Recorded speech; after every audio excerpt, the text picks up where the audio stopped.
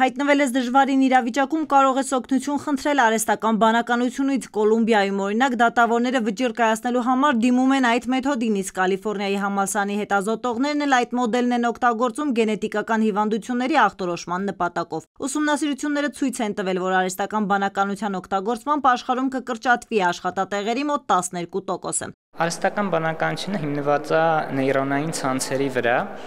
որոնք ոգեշնչվել են մարդու ուղեղի կառուցվածքից ու փորձում են վերլուծել խնդիրները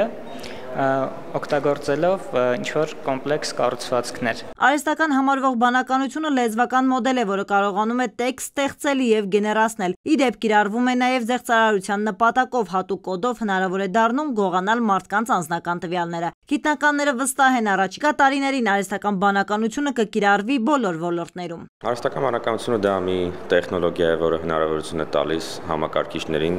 սովորել ինչ-որ գործողություններ անել տվյալների հիման վրա ու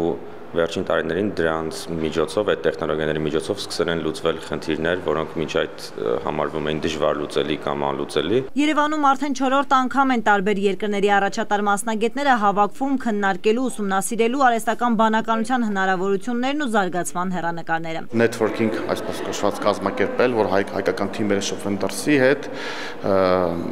կատավի փորձի փոխանակում, որը կբերի նաև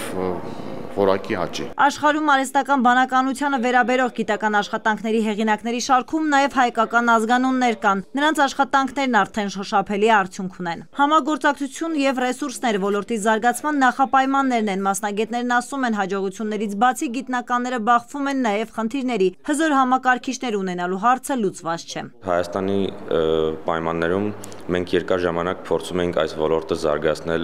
առանց մեծ համակարգիչների, առանց մեծ հաշվողական ռեսուրսների, որովհետև այդ ոլորտի մի զգալի մասը կարելի էր այդպես զարգացնել։ Վերջին տարիներին աշխարհում, մասնավորապես Միացյալ Նահանգներում կարողացան հսկայական պրոգրես ունենալ շատ մեծ, շատ հզոր համակարգիչների միջոցով, ու այդ առումով մենք սկսել ենք հետ ընկնել։ Հաշվողական կարողությունների պակասի պատճառով ըստ մասնագետների Հայաստանը խնդիր ունի եւ կունենա, քանի դեռ նույնիսկ համեստ հետազոտություններ անելու համար համակարգիչներ չկան։ Տաթևիկ Աբ รา համյան, Զոհրաբ Քարամյան, ժամը լրատվական։